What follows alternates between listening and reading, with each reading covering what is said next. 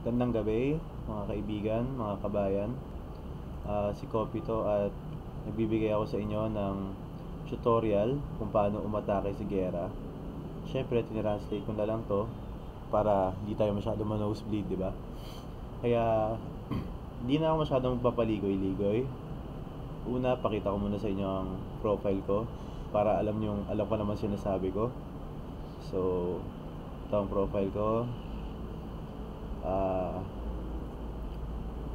marami na akong war stars kaya madalas din akong mag, mag 3 star. At ang clan ko ay marami ng panalo.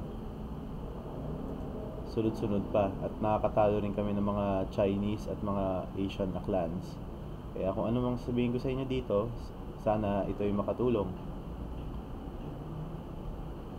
Kaya punta na tayo sa present na war namin ngayon, unahin muna natin yung mga baguhan. Siyempre, lahat tayo adik ngayon. Kung pinapanood nyo to, malamang adik kayo o gusto nyo malaman kung paano umatake si Gera. Sisimula tayo sa mga Town Hall 6. Sa Town Hall 6, ang pinakapansin namin dito sa clan namin, pinaka sure ball na paraan ng pag-atake para maka 3 star ay balloons. Kailangan yung balloons nyo ay level 3 kasi kung level 2, may hina-hina pa yan. Now, tingnan natin itong replay na to. Tingnan nyo, Town Hall 6 na base to. Pero hindi pa ito yung pinakamalakas. Kaya hahanapan ko pa kayo ng replay para dito ulit. Ngayon, ang ginamit ni Lavizares dito ay balloons. Pero lightning ang, ang spell niya. Eh, lagi mong lagi niyo unahin, papatayin itong uh, clan castle ang kalaban. Dapat naka-scatter yan para hindi hindi kayo mapatay ng whiz. Tapos, laging pinakauna ang pinakamalalakas na balloons kahit ikalat-kalat. Para mas malaki yung masasakop nila na area. At kung wala nang depensa dun sa kabilang side, dun na kayo maglagay ng archer.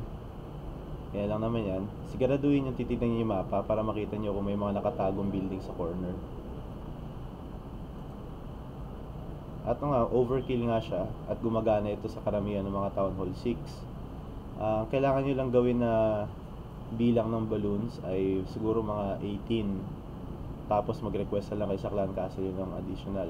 Ito yung troop combo na ginamit niya. Mas gumagana to sa mga malalakas na base kung gumagamit kayo ng heal spell.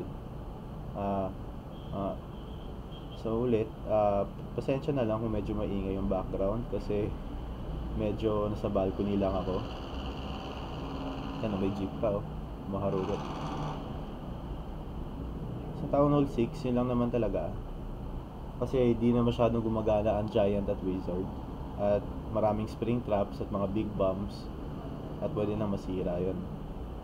Kung natin yung atake ni Lavisares umatake siya sa direction kung saan pinaka-exposed ang air defenses kailangan ganun talaga. Kailangan unahing pinaka pumunta ka atake ka dun sa direksyon na pinakamalapit ang air de- ang air defense sa susunod na defensive building. At kailangan patayin yung clan castle. Importante yan.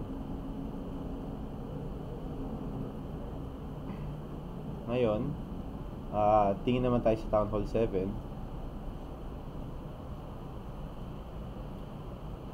uh, ito may hina-hina. Ito.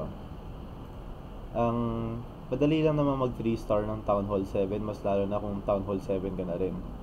Kailangan mo lang ng kahit level 1 na dragon tapos konting backup sa clan castle. Kaya ang pinaka sureball na diskarte at hindi talaga to global pack is yung tinatawag naming drag zap or yung sampung dragon or siyam na dragon at tatlong kidlat. Kailangan yung kidlat nyo uh, level 3 or level 4. Ito example.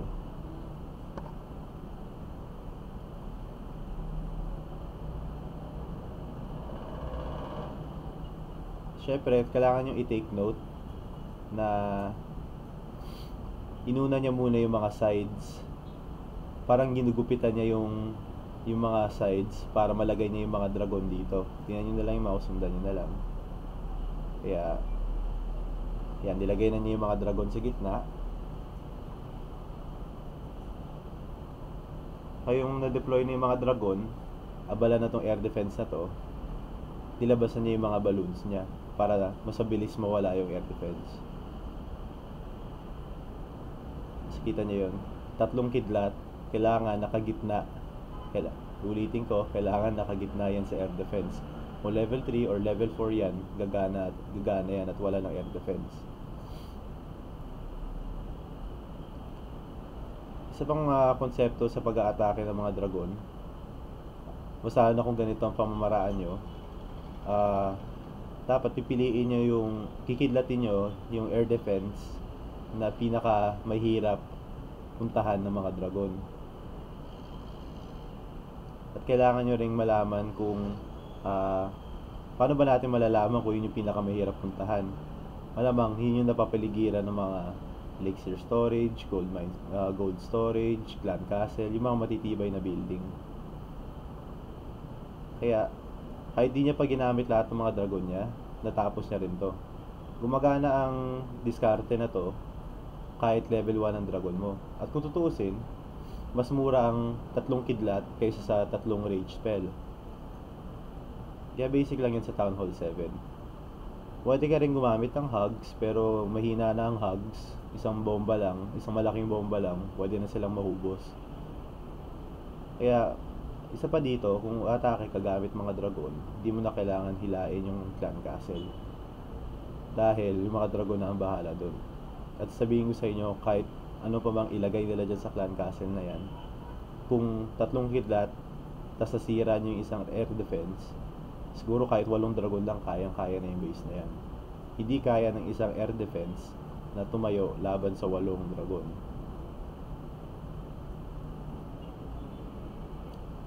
Kung gusto niyo pong mag 3 star, ito lang naman, ito pruweba to, kalaban namin itong mga taga UK. Sinisigurado talaga namin na dragon na lang talaga kasi ang una tumalo sa amin mga Inchikred, sila nagturo sa amin ng uh, mga ibang discarding pang dragon. Ngayon may replay dito si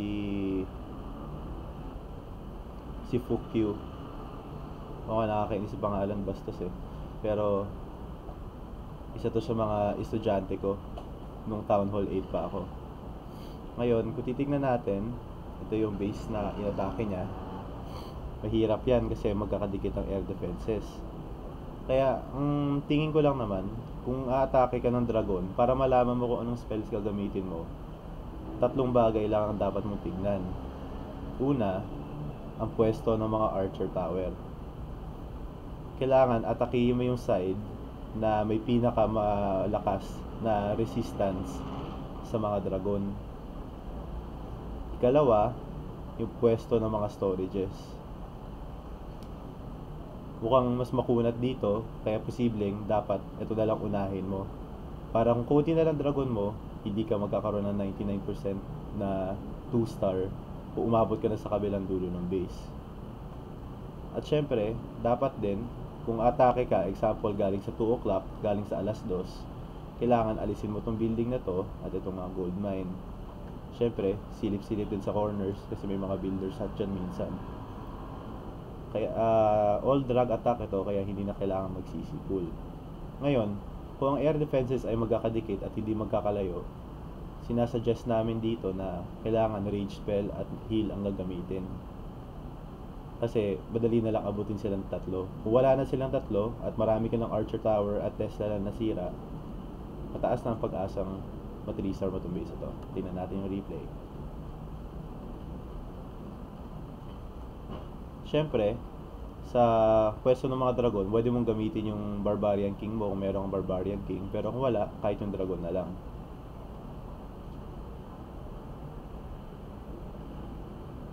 Titingnan nyo, yung placement na ng loons ay kalat-kalat para lahat sila dumiretso sa gitna.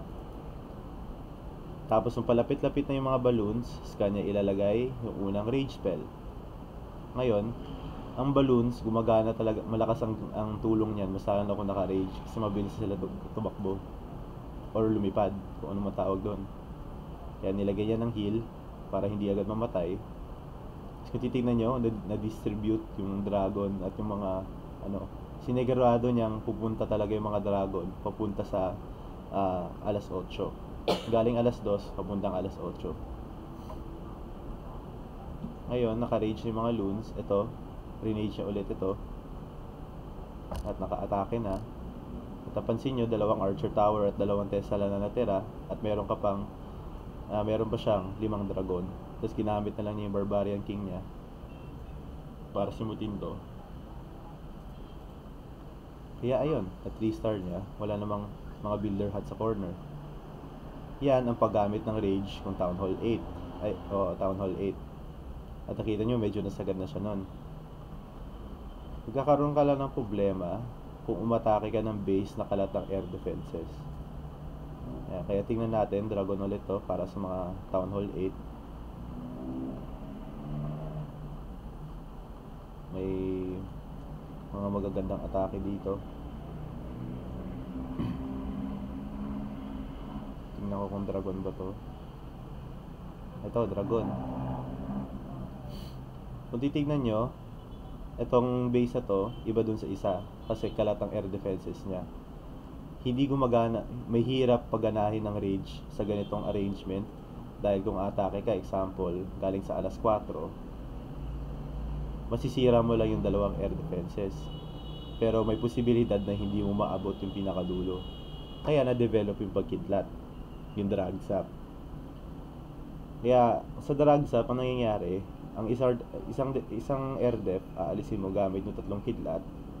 Yung isang air def, i-assassinate mo ng balloons.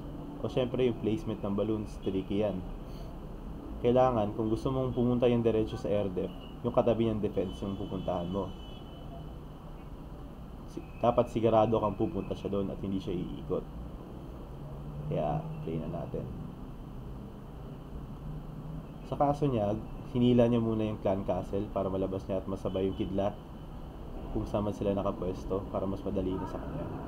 Nakita niyo, kinidlat niya yung pinakamalakas na air defense. Ito, malakas din to eh. Second account na lang to.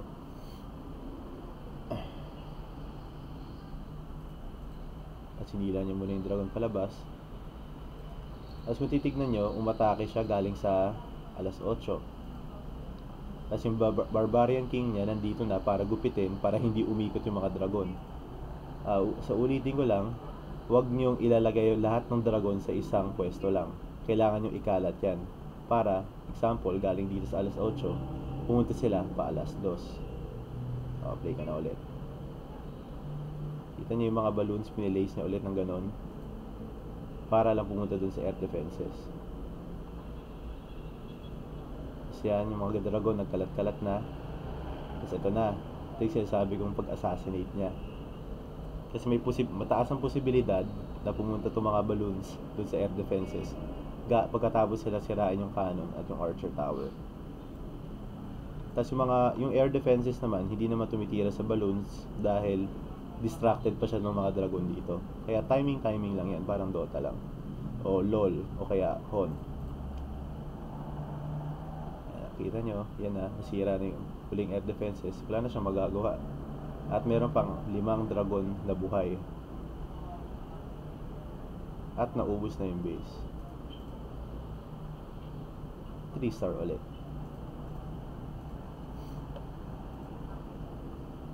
Ngayon, marami pa namang paraan para mag 3 star ng Town Hall 8. Yung hugs na kasi masyadong gumagana. Mas lalo na kung may anti-hug na base o yung mga double bomb. Sabihin ko sa inyo, huwag kayong mag-hug ng mga base na may mga dalawang bomba na magkakatabi. At makikita nyo naman yan eh, kung i-inspect nyo yung base. Kaya kung may mahirap hilain na clan castle. Ngayon, kung medyo malakas na kayo na Town Hall 8, gumagana madalas ang Go Wipe o kaya Golem, Pek, Wizard at Pekka. Ibang usapan naman to.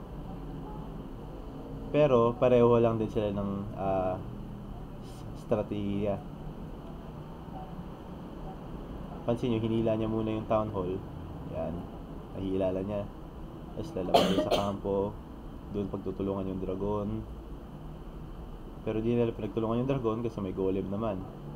Ngayon, kung titignan nyo kung paano niya pinuwesto yung mga golem niya, yung mga golem, hindi dapat i-deploy galing sa isang spot, sa isang lugar lang. Kailangan kalat yan. Tapos kaya may mga wizard na kalat, kikita niyo mga wizard na, ayun, kalat-kalat, ay para siguraduhin na kung ano mang dadaan dito, dediretso pa muna gitna. Tingnan natin. Nakita niyo, na-clear na niya yung mga sides. Yan, papasok na niya yung pega kasi di naliliko yan eh.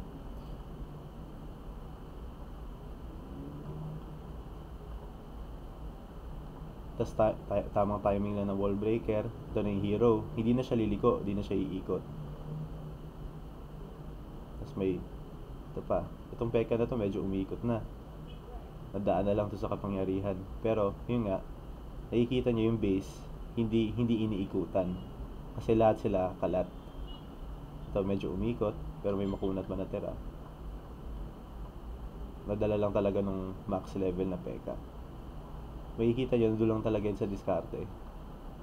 Kailangan kalat. Ngayon may papakita pa ako sa inyo isang replay. Ito ay gawa ko. Pero hindi to 3 star, pero muntik na to maging 3 star. Mag-apply rin to para sa mga Town Hall 9 at Town Hall 8. Tatlo lang naman ang basic niyan. Kailangan kalat ang golem. Tapos, yung mga golem dapat nasa side, tapos magpapadala kayo ng isang malakas na tropa papunta sa gitna para dumire-diretso siya paakit ng base.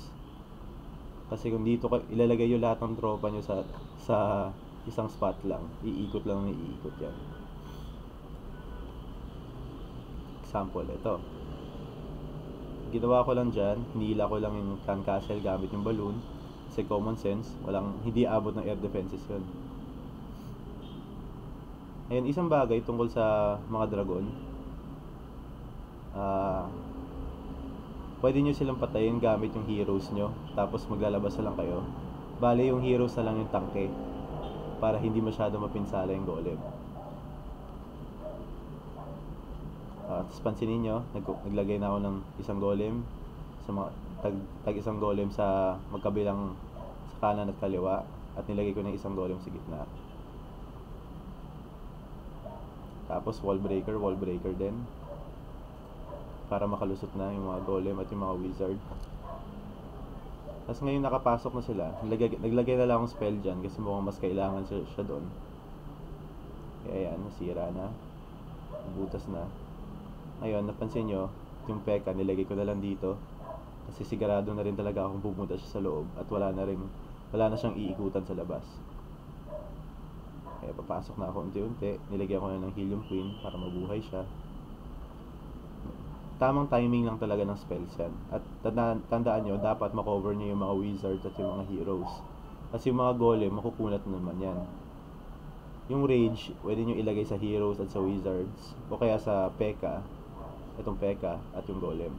Para sa mga Town Hall 9 ha. O kaya, pati sa TH8 nagagamit to. Masana yung ganitong konsepto. Kaya nilagyan ko na ng rage gitna. Yun nga lang, ito, magandang moment to eh. Maraming namatay dito. Yan, bomba. Kaya nabawasan ako ng maraming troops. Pero kung i-play natin hanggang sa dulo, medyo nagpakatanga lang yung queen, kaya yun, 98% lang ang nangyari dito.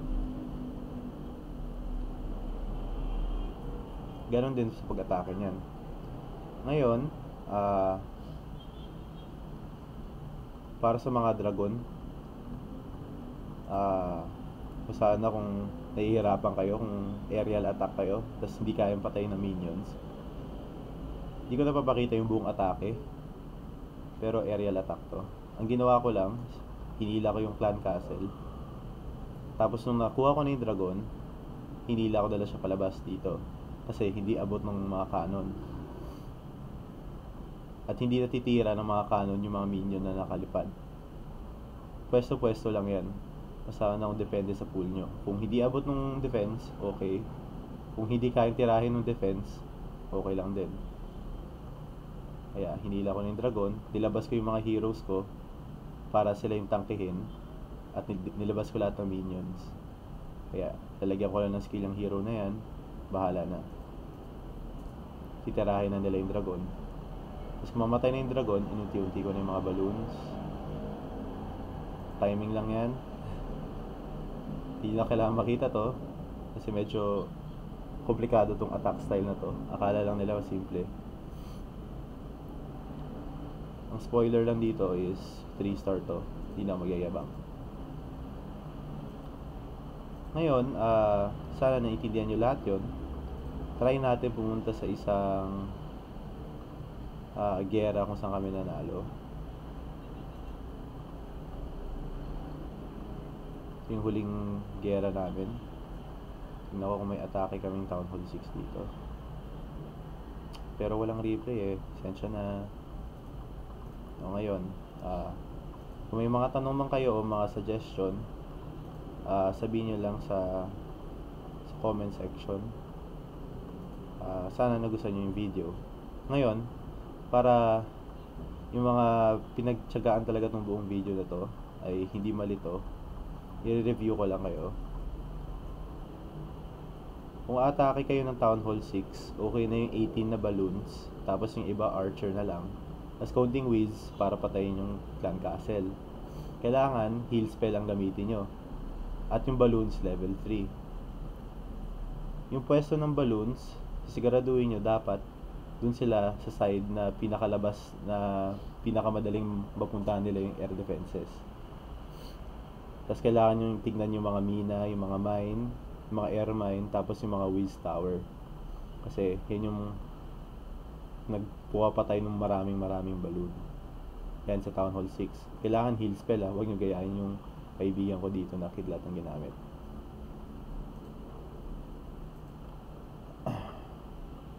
Laban po, ah, laban sa Town Hall 7 naman, para tipid, hindi na kayo gumastos ng oras at ano, elixir, kahit kidlatin nyo na lang ng tatlong beses, level 3 or level 4 na lightning, ang air defense na level 5.